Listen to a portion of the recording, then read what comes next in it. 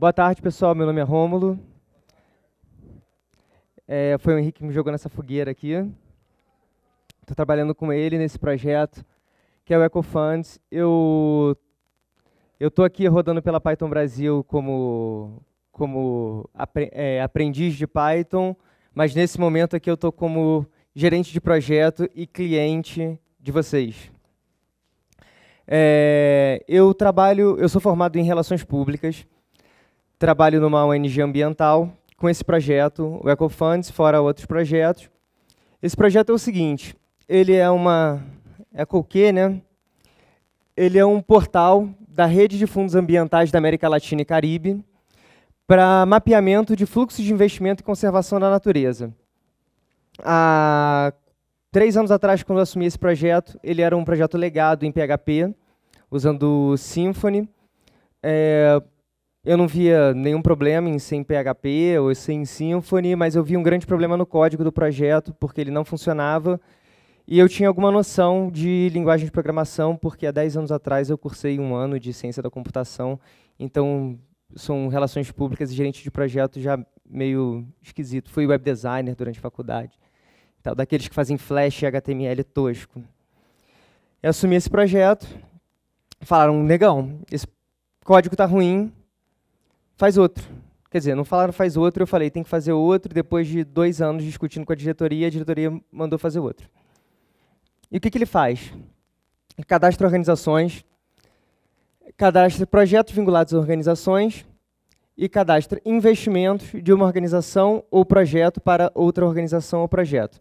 Uma coisa bem simples a princípio, ficha de registro, vincula projeto à organização e o investimento é, é uma transferência de dinheiro entre organizações, que pode estar vinculado a projeto como uma, uma segunda camada de, de interação. Para que, que serve? Ele serve para otimizar o investimento em projetos de conservação ambiental de forma territorial e temática. O que isso quer dizer? Que os projetos têm temas, as organizações têm tipos, os investimentos também têm tipos e você consegue organizar por tema. E territorial, porque aparecem uns pontinhos bonitinhos no mapa que me deram muita dor de cabeça, principalmente enquanto eu estava trabalhando nesse projeto com o escopo fechado. Por que, que deu tanta dor de cabeça? Ah, enfim. Então, para que, que serve? Para saber onde falta investimento e onde sobra investimento. Saber quem investe, quem precisa de investimento, quais linhas temáticas mais recebem investimentos e quais precisam de investimentos. Esse é o projeto. O que, que eu disse? Que era isso.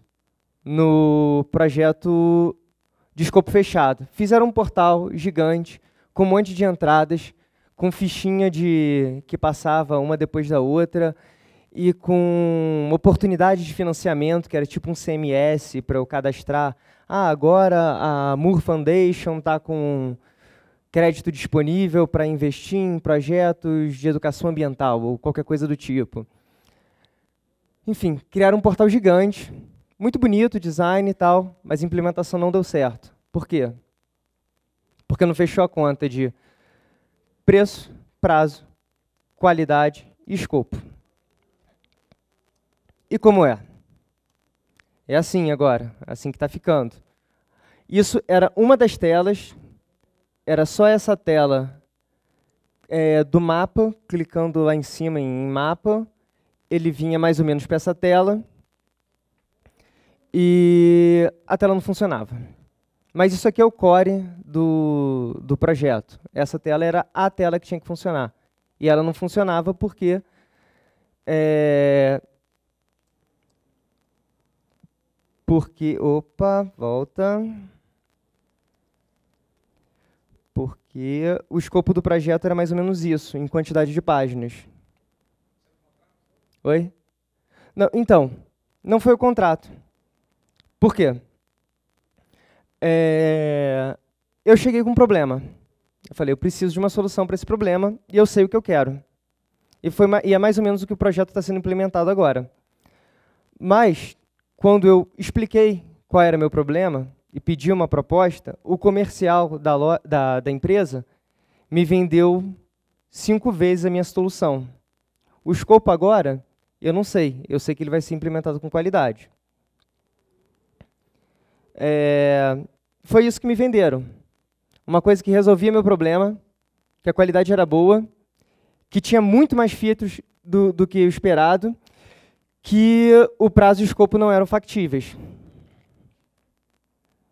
Né? Eu queria isso. isso. Essa cena é clássica, né? De, de enfim, todo, muita gente tem esse quadrinho. Uma coisa que resolvesse meu problema, que a qualidade era testada, que não tem muitas features, que o prazo era factível, que é inteligível, replicável e estendível. Que não era o caso do código do, do, do projeto que, que o Henrique recebeu. Por quê? Porque nessa altura do campeonato, o, um projeto que deveria durar seis meses durou é, um ano e. Acho que foi, já estava em um ano e dois meses, mais ou menos, quando eu resolvi procurar entender por que aquele projeto estava errado. Resolvi procurar entender de Django, entender de Python, porque foi uma, uma ideia que eu dei para a empresa que eu contratei. Falei assim, poxa, tem um tal de Django, um tal de Python, eu acho que ia ser maneiro se vocês desenvolvessem usando isso. Eles toparam. Isso, já com a, com a empresa que, que me mostrou aquele grande escopo. O, o primeiro sistema PHP legado, eu não tenho nem print dele, eu acho que qualquer lembrança que eu tive dele, eu fiz questão de fazer terapia e esquecer. Mas aquele outro sistema começou a ser desenvolvido, as telas apareceram, mas as features estavam quebradas. A preocupação do, do a preocupação da empresa foi entregar meu, foi entregar meu escopo foi tentar cumprir um prazo, mas a qualidade foi lá embaixo. O programador entendia alguma coisa de Python, mas não conhecia nada de convenção de Django. Não sei se você concorda com isso? Que olhou, estudou o código para cá. E então ele não perdeu tempo e não teve compromisso com a qualidade do projeto. O que aconteceu foi que uma hora as entregas pararam. Meses sem uma entrega, sem um deploy, nada. E até o momento que a gente quebrou o, o contrato com eles. E eu, porque eu tinha ouvido falar numa tal de metodologia ágil. Um cara virou para mim e falou isso, que quatro variáveis impactavam no meu projeto, que era prazo, preço, qualidade e escopo. E aí eu fui conversar com o Henrique, e o Henrique falou assim, aí, eu não vou fechar o escopo não. Aí eu entendi por quê mas é uma decisão muito difícil para um cliente tomar. Porque o que o cliente quer? Ele quer previsibilidade de escopo. Ele quer saber qual é o escopo. Ele quer que tenha qualidade. Ele quer que o preço seja previsível e que o prazo seja previsível. Às vezes ele não quer nem que seja barato ou caro. Vezes, o, o que é muito importante para o cliente muitas vezes é ser previsível. É uma coisa um pouco Difícil em metodologias ágeis. Você sabe que vai ter alguma coisa, você não sabe exatamente o que. Isso vai ser repriorizado. E em qualquer empresa mais tradicional que você chega, você, o gerente, o, o fornecedor propõe para a empresa, a empresa não compra. O gerente de projeto que viu isso e acreditou e já falhou em outros projetos e quer fazer o próximo assim, quer fazer, a empresa também não compra. Aí ele vai apelar para a diretoria diretoria não compra, o jurídico não fecha, ninguém assina contrato.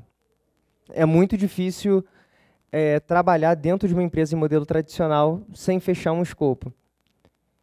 E isso gerou problemas em talvez 90% dos, dos projetos de web que eu vi acontecendo onde eu trabalho. Né, a primeira vez que começou a acontecer alguma coisa e falar assim, aí, agora está rolando coisa nova, está mudando coisa ali. Estou vendo toda semana um commit novo. Foi quando eu adotei metodologia ágil. A gente falou, não, vamos priorizar. Ah, como é que eu consegui isso com a empresa? Está gravando? Droga. é. Não, basicamente, a gente fechou um escopo irreal. Assim, um escopo que não condizia com o escopo que a gente planejava. A gente fechou o escopo como mais ou menos assim, a gente vai pegar o que está aí e vai fazer um deploy semanal. Vamos fazer um deploy automatizado. E o escopo é mais ou menos isso, com mais meia dúzia de firula que a gente conversou, acordou e falou assim, não, isso aqui é garantido que vai rolar. De resto, reunião semanal, metodologia ágil, vamos implementar teste, tudo isso entrou como escopo, como na verdade não é o escopo, é metodologia. Mas tinha que ter alguma coisa escrita e definida no escopo para o meu jurídico assinar. Né, para a chefe da minha chefe assinar. A minha chefe, até a minha chefe eu consegui convencer. Passar dela foi bastante compli complicado. Então, o que escolher? Nesse caso, eu escolhi ter qualidade no projeto. Escolhi estar tá um pouco inseguro a respeito de todas aquelas features que não foi o que eu pedi no projeto original. O problema é que aí eu já estava uma dificuldade que começou a rolar na minha na minha comunicação, na, na minha aceitação do projeto de escopo aberto, saber que ele ia ser enxugado, que código ia cortar, é porque eu já tinha visto aquela página cheia de feature, aquela lista de, de três camadas de página, de tudo com autocomplete, tudo com select, tudo pisca, tudo brilha, tudo tem um, uma feature engraçada, e você fala assim, pô, vou ter que enxugar isso tudo, mas já está pronto. A grande sacada foi enxergar que não estava pronto. Não está funcionando, não está pronto. E esse é, às vezes, um grande problema da, do escopo fechado, onde o cara está preocupado em te adicionar features que ele mesmo propôs, que o departamento comercial dele propôs para ele, para convencer a assinar o contrato. Eu já falei, ah, beleza, vamos fechar, mas ele vai e me dá uma documentação gigante para eu chegar lá e de fato assinar, para eu estar tá encantado na hora do contrato de fato assinar. A minha expectativa era X, eles me ofereceram 10X eu cheguei a perguntar diretamente para o arquiteto de informação assim, você não gosta da sua equipe de desenvolvimento, você está chateado com eles para fazer eles desenvolverem isso tudo? Quando eu estava pedindo aquela página, a página do o que é, eu estava pedindo aquilo. Eles me entregaram aquela página como uma das muitas páginas do sistema. Tem até as outras aqui, mas eu acho que não é, não é analisar o, o site em detalhe que a gente está. Então é isso. Eu queria um preço previsível, um prazo previsível, um escopo previsível, uma sensação de qualidade. É muitas vezes o cliente quer. É tá funcionando, tá no ar, porque eu tenho, eu jogo no, jogo um pouquinho né, ali nos desenvolvedores e um pouquinho ali no, nos clientes e tal, entendo o que está acontecendo no projeto, mas na verdade para quem eu mostro, é, a pessoa ela quer digitar e ela quer que a busca dela dê um resultado ou que o campo que ela clicou apareça certo. Como ele está fazendo, tanto faz. Muitas vezes, assim, se é uma, um cálculo complexo que está dando um erro, muitas vezes o cliente nunca vai saber. Ele teve a sensação de que o sistema está funcionando. Para ele está bom. Mas vocês sabem que bate na curva, né, onde um sistema com código mal feito cruza com um sistema com código bem feito, o código bem feito a produtividade aumenta e o outro diminui.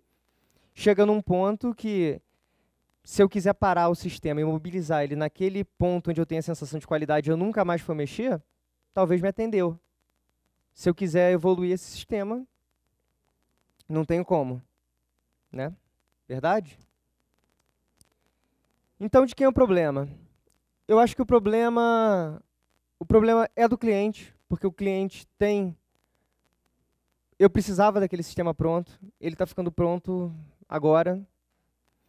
Ah, acho que dois anos depois do, do prazo que. Um ano e meio depois do prazo que devia estar tá pronto. Isso é um problema meu. Não é um problema da empresa. Empresa quebrei o contrato com ela. Se ela teve que pagar multa, se ela deixou de receber. Não é nem da minha competência pensar nisso. O problema é que eu ainda estou com um sistema que não está pronto. Agora, a empresa também tem que pensar antes de assumir o problema, antes de criar um escopo daquele tamanho ou antes de aceitar uma demanda por um escopo que ela não vai poder entregar. Então, acho que o problema do sistema é meu, mas a empresa, se tiver comprometida a entregar um sistema que ela mesma não fez com qualidade, ela acaba ganhando um bom problema. Eu acho que vocês já devem ter passado muito por isso. Sim. Por quê? É, a empresa é compartimentada, para começar. Ela tem os designers, ela tem os arquitetos da informação, ela tem os desenvolvedores, ela tem o gerente de projeto e deve ter mais umas 17 pessoas na equipe servindo café. E aí o que, que acontece? O arquiteto, ele olha e ele quer fazer a melhor arquitetura possível, lindo com, com todas as features. Ele passa isso para o designer. O designer vai e deixa aquilo tudo bonito, me entrega aquele JPEG. Aí aquilo cai no colo da equipe de desenvolvimento. Para o designer, legal, de repente ele perdeu um, um ou dois dias a mais para fazer mais um botão. O arquiteto da informação talvez perdeu, perdeu um bom tempo pensando naquela solução. Mas ele gerou uma demanda que não foi comunicada com os desenvolvedores, que quando chegou para mim foi aquela oferta da empresa, um escopo daquele tamanho, por um preço que eu já estaria disposto a pagar para ter o meu sistema funcionando. Né? Que eu, eu, eu, nesse aspecto, eu acho muito complicado você debater muito a questão do, do, do preço com uma empresa. Você pode conversar, entender, enxugar escopo para debater preço. Agora, debater preço sem fazer nada, sem aumentar o prazo, sem virar para o cara e falar assim, achei caro, é porque eu estou falando que o cara não sabe cobrar o que eu não sei pagar, né? o que eu não sei entender o valor do produto. Porque se o cara está no mercado e o cara está de boa fé e ele quer entrar no meu projeto, ele está cobrando um preço de mercado para fazer o que é feito ali. Então, é, eles aumentaram o escopo e eu só aceitei. Né? Então, é, foi uma coisa que não rolou, priorização. Agora a gente está com foco em resolver o problema, que é cadastrar organizações, projetos e investimentos, me retornar no mapa e tal. Então, a gente está priorizando. O trabalho está sendo refeito, e trabalho refeito é tempo perdido. Não tinha teste o projeto. Ele queria feature na minha mão. Eu, não estava cobrando isso dos desenvolvedores. Eu não estava falando que era outra feature. Falei, não, eu quero que o desenvolvimento cresça saudável. Mas talvez o vício de lidar com clientes que estejam sempre pedindo feature seja tão grande e o costume do, do, do dono da empresa ou do comercial de ceder a esse cliente seja tão grande que eles estavam querendo me entregar uma coisa que eu não estava pedindo, porque é, a, é como a média dos clientes pedem. Falei, não, gente, tranquilo, ó, tá com um problema nesse local, vamos resolver isso aqui. Ah, precisa estender o prazo um mês? Pô, que pena, que droga, ruim para todo mundo. Você vai, eu vou perder dinheiro, você também. Você vai botar a tua equipe alocada mais um mês. Sabe? Eu sei que você não quer isso, eu não quero isso também, então vamos conversar sobre o problema.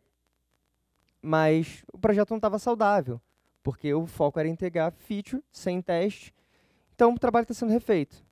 Foi ruim para mim, foi ruim para eles, porque eu não paguei o, o final do contrato, não paguei as maiores parcelas e os caras que, que já, já eram meus fornecedores de outras coisas deixaram de ser.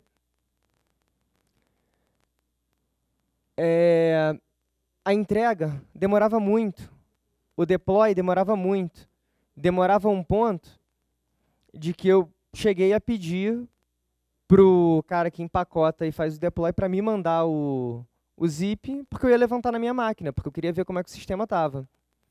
Cada vez que o deploy demora duas semanas para chegar, um mês para chegar, a minha expectativa é que muita coisa foi feita. E não que foi adicionado uma, uma feature ou foi tentado debugar uma coisa.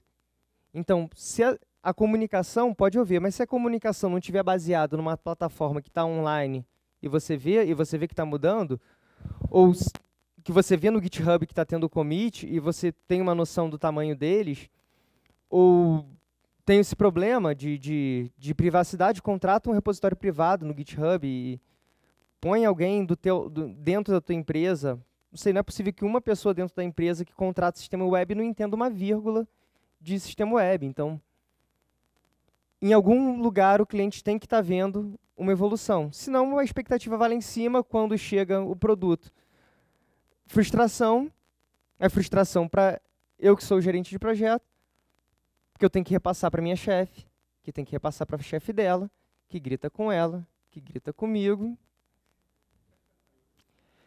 E aí e aí, como eu não sou um cara que gosta de gritar, eu ligo para a empresa e falo assim: pô, cara, pô, fiquei decepcionado com o teu deploy, me causou problema aqui dentro, a gente tem que conversar essa forma de trabalhar.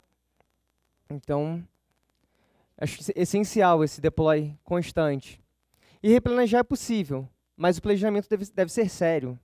Não adianta a gente replanejar toda semana, falar, agora que eu estou trabalhando com o Henrique, e a gente trabalha com, com um sistema mais ágil, ah, Henrique, agora eu quero mapa.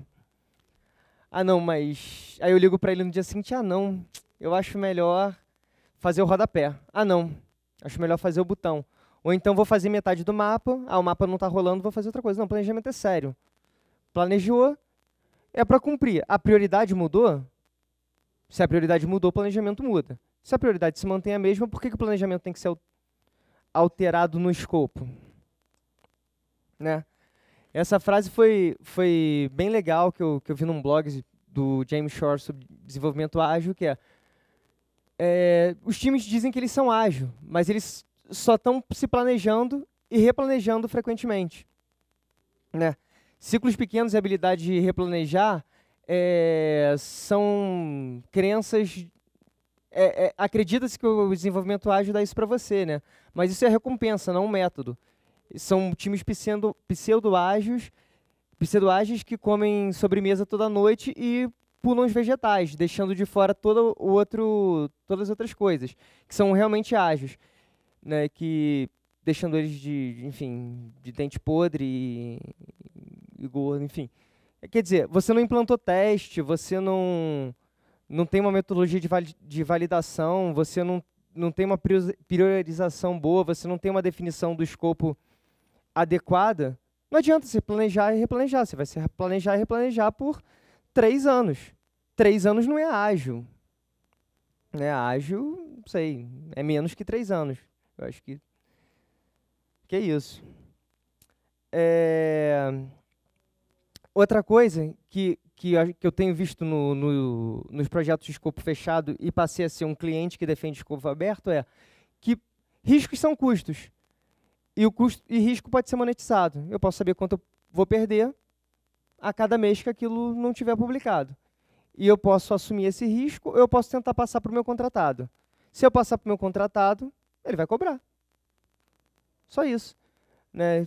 Se eu tenho meu risco que eu imagino que seja 50 mil por mês, e eu fecho o escopo com ele, ele enxerga que esse risco de 50, ele faz a mesma conta que eu, ele vai me cobrar 50 mil a mais. Então, é, quem, um assume o risco e o outro assume o custo. Isso é, é eu acho que, que não tem como fugir. Né? Tem que escolher o gato ou o Kiko. né, o gato ou o Kiko? O gato e o Kiko também. É, e aí, só para, como estou falando para um público de desenvolvedores, né, falar umas dificuldades gerais, técnicas do projeto. E aí, se você discordar de mim ou concordar de mim, você fala, que é que foi a falta de convenção na organização do código. O código estava completamente espalhado, as views tinham 150 linhas, 200 linhas. É, o que era manager não estava onde é manager, o que era, enfim. Para tentar resolver um problema de lentidão em uma parte, foi usado SQL Raw, como, que não deu o mínimo impacto de performance. Como eu virei para o cara e falei, cara, eu não sou desenvolvedor, mas eu acho que isso não vai impactar a performance, porque eu acho que isso não é o problema. Ele falou, não, não, é isso sim. Eu falei, beleza, então, você é o desenvolvedor, vou confiar no teu trabalho. Não deu impacto. É, a gente começou com um banco de dados que veio, que foi melhorado daquela primeira aplicação Symfony, mas não era 100%. E o cara deu um InspectDB, jogou aquilo para dentro dos models e começou a programar. Em uma semana, ele tinha metade das telas no ar. Depois disso, nunca mais foi rápido.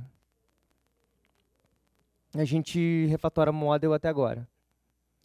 É... O SQL Raw exagerado, muita dependência desnecessária.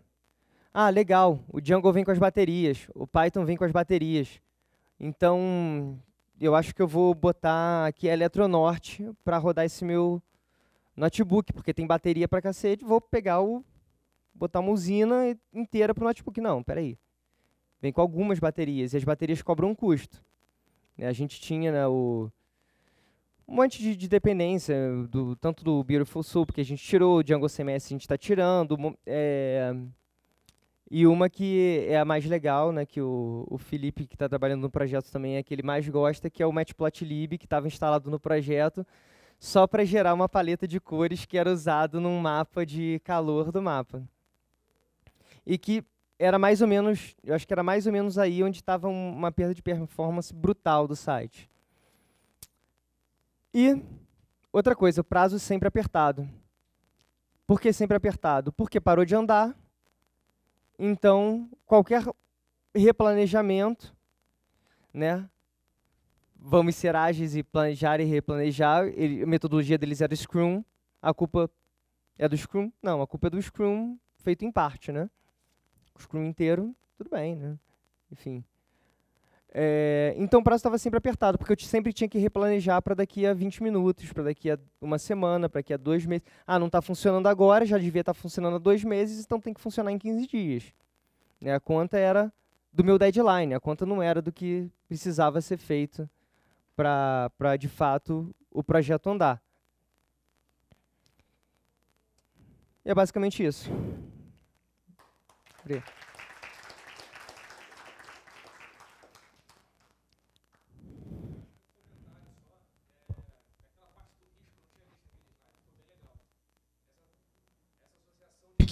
Risco é custo, né?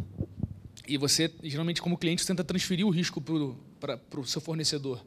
E é tranquilo, ele pode assumir o risco, mas ele vai cobrar por isso. Né? Então, assim, a chave, que eu acho que foi quando o pessoal lá aceitou a imposição de que não vou, não vou fazer uma proposta com escopo fechado, de jeito nenhum, uhum. é, foi quando o contrato tem duas páginas e tem uma cláusula muito clara. Todo dia em que há trabalho, a deploy, você vê todo dia a evolução do sistema e a qualquer momento você pode acordar, dar um surto e falar assim: você é feio, não conseguiu emagrecer, então não quero trabalhar com você, cancela o contrato e você não paga nada. Entendeu? Então, nisso elimina um risco, né? Que você não tem que pagar um grande adiantamento ou fechar um contrato. Não, você vai pagando, vai fazendo o processo de cobrança, é o que foi entregue, você paga. Se você surtar e não quer o projeto, ou mudou a empresa e tal, você não paga. Agora, por que isso é fácil de fazer? Porque trabalhando em rede, não tem custo patronal. Você não tem que pagar salário de ninguém. Está todo mundo compartilhando resultado e risco. Então você não tem, não tem o problema, né? O lance do cara cobrar o que você paga depois é falar assim: ah, não, você não pode cancelar porque tem uma multa de cancelamento. É porque ele tem salário para pagar, quer o projeto aconteça ou não. Só que em rede você não tem esse problema. Então fica muito fácil, fica tudo muito mais simples, né? Você não tem que fazer artimanha para convencer ninguém. É. é, esse projeto foi o, Rômulo, ele chegou através do blog? Não, foi do. Acho que eu. eu em, determina, em determinado ponto, eu estava desesperado, os caras não conseguiam mais entregar, eles falavam, vamos contratar um cara extra, temporário, só para resolver teu projeto especialista, e não conseguiam contratar, eu entrei na lista Python Brasil, entrei na lista Django Brasil, eventualmente, recebi o um e-mail do Welcome to the Django, fiz o curso Welcome to the Django, e, enfim, foi... Achou uma merda? Aí foi que perguntou, cara, você não quer fazer isso não? Aí eu falei, bicho, faço, mas eu trabalho de um jeito diferente. Tá disposto? E aí é, a gente conversou. Na verdade, acho que eu passei você para falar com o Felipe, eu não estava com tempo. Aí, aí não, não, não, rolou e tal, e depois você foi, insistiu, porque a gente conversou. O Felipe. Porque o... os caras queriam contratar a gente para trabalhar para o projeto. É. Né? Falei assim, ah, isso não faz sentido. E aí, na verdade, depois você voltou com um problema, e aí eu conversei contigo, e, e a gente bolou, fez uma proposta de trabalho. Eu tenho, tenho um CNPJ, a empresa, pode me dar fiscal normalmente, uma proposta de trabalho, e fiz um convite ao Felipe, Felipe Cruz, que é grande amigo da comunidade Python. Falei, cara, tem esse projeto, você está afim de participar? Porque lá no Rio a gente faz muito isso, de é como se fosse uma grande cooperativa, né? A gente se organiza em rede, compartilhando sempre resultado e, e risco. E a gente decidiu fazer junto o projeto e está super tranquilo, né? É, é, 14 semanas o projeto está indo no ar, acabou. É. Semana que vem acaba e está tudo certo. É, e, e, basicamente né, foi entrar ali na Python Brasil e olhar esse código fonte, um ano depois me botou aqui. Aí, tento. Agora é a parte da rede. Agora é a parte da rede. Mas é isso, gente. Algum comentário, alguma pergunta, algum... Então deve estar todo mundo com fome, né?